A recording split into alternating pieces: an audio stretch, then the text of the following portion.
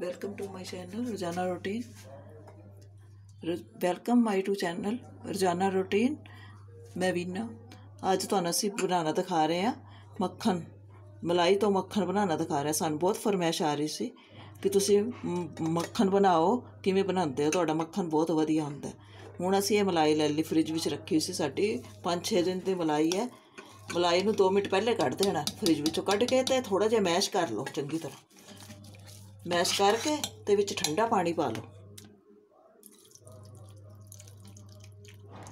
ਠੰਡਾ ਪਾਣੀ ਪਾ ਕੇ 10 ਮਿੰਟ ਇਹਨੂੰ ਹਿਲਾਈ ਜਾਣਾ ਕੜਛੀ ਨਾਲ। ਮੈਂ ਕੜਛੀ ਨਾਲ ਹੀ ਬਣਾਉਣੀ ਆ ਬਹੁਤ ਵਧੀਆ ਮੱਖਣ ਨਿਕਲਦਾ।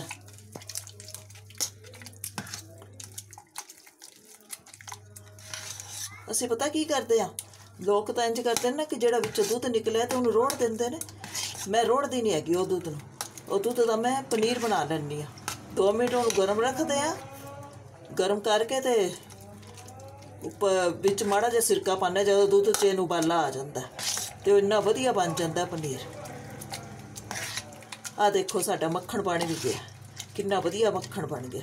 2 ਮਿੰਟ ਹੋਰ ਹਿਲਾਵਾਂਗੇ ਤੇ ਐਨ ਮੱਖਣ ਬਣ ਜਾਏਗਾ ਵਧੀਆ ਸਾਡਾ। ਨਾਲ ਮਧਾਣੀਆਂ ਦੇ ਰੱਫੜ ਨਹੀਂ ਮਿਕਸੀ 'ਚ ਇੰਨਾ ਵਧੀਆ ਨਹੀਂ ਨਿਕਲਦਾ ਜਿੰਨਾ ਇਹਦੇ 'ਚ ਵਧੀਆ ਨਿਕਲਦਾ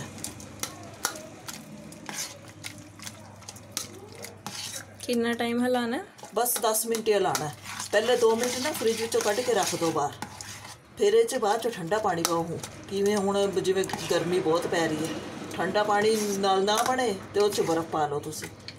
ਬਹੁਤ ਵਧੀਆ ਬ- ਮੱਖਣ ਬਣਦਾ ਹੈਗਾ। ਦੇਖੋ ਕਿੰਨਾ ਵਧੀਆ ਮੱਖਣ ਆ ਗਿਆ।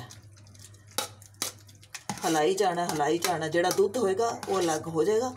ਮੱਖਣ ਅਲੱਗ ਹੋ ਜਾਏਗਾ। ਜਿਹੜਾ ਦੁੱਧ ਨਿਕਲੇਗਾ ਇਹਦੇ 'ਚੋਂ, ਤੁਸੀਂ ਪਤਾ ਰੋੜਨਾ ਨਹੀਂ। ਉਹਨੂੰ ਗਰਮ ਕਰ ਦੇਣਾ ਗੈਸ ਤੇ।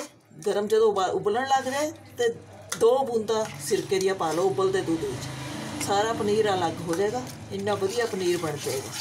ਨਾਲ ਤਾਂ ਚੀਜ਼ ਕੋਈ ਵੇਸਟ ਨਹੀਂ ਜਾਂਦੀ।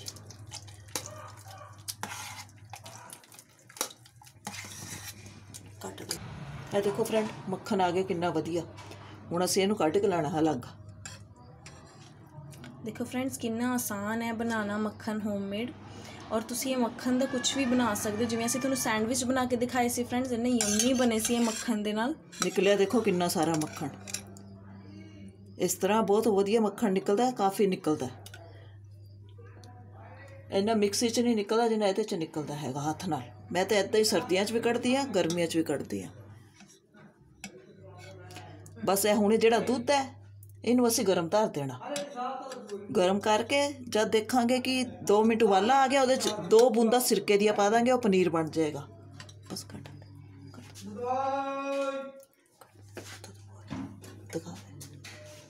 ਆ ਦੇਖੋ ਫਰੈਂਡਸ, ਸਾਡਾ ਮੱਖਣ ਬਣ ਕੇ ਤਿਆਰ ਹੋ ਗਿਆ। ਇਸ ਤੋਂ ਬਾਅਦ ਤੁਸੀਂ ਇਹਨੂੰ ਫ੍ਰਿਜ 'ਚ ਰੱਖ ਸਕਦੇ ਹੋ।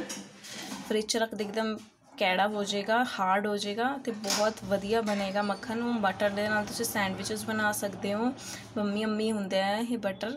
Thank you for watching our video ਜਿਹੜੇ ਵੀ ਸਬਸਕ੍ਰਾਈਬਰ ਸਾਡਾ ਸ਼ੋ ਜਾਂ ਸਾਡਾ ਚੈਨਲ ਫਸਟ ਟਾਈਮ ਦੇਖ ਰਹੇ ਹੈ ਪਲੀਜ਼ ਸਾਡੇ ਚੈਨਲ ਨੂੰ ਸਬਸਕ੍ਰਾਈਬ ਸ਼ੇਅਰ ਤੇ ਲਾਈਕ ਜ਼ਰੂਰ ਕਰ ਦੇਣਾ। Thank you for watching our video bye bye friends have a nice day